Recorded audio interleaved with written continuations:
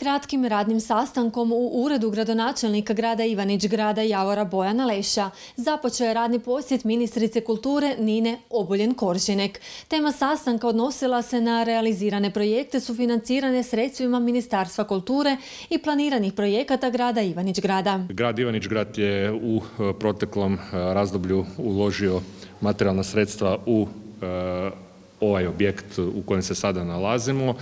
E, moram reći da to ne bi bilo moguće bez ministarstva, bez pomoći e, ministarstva koje je osiguralo 50% e, sredstava i financiralo u razini od gotovo 2 milijuna kuna u zadnjim godinama ovaj projekt.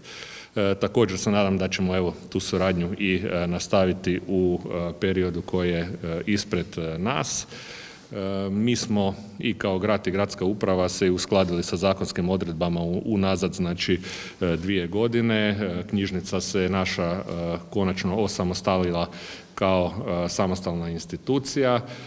Također, evo, mogu reći da smo i pred početkom rada visoke škole, koja će također se nalaziti u prostorima za koje je sredstvo osiguralo Ministarstvo kulture i e, čak mogu reći da je stvarno Ministarstvo kulture u ovom periodu možda jedan i od e, većih e, suinvestitora sa gradom Ivanić gradom upravo u te objekte kulturne baštine, ali i objekte koji su prvenstveno namijenjeni za obrazovanje, kulturu, mlade i ostalo što je bitno za jednu kvalitetu života. Jako sam zadovoljna prvenstveno jer se vidi veliki iskorak koji je napravljen upravo u zadnjim godinama. Naglasila je ministrica kulture Nina Obuljen Koržinek te dodala. I osamostalila se knjižnica i formalno je osnovan muzej. Razgovarali smo o planovima, budućim planovima.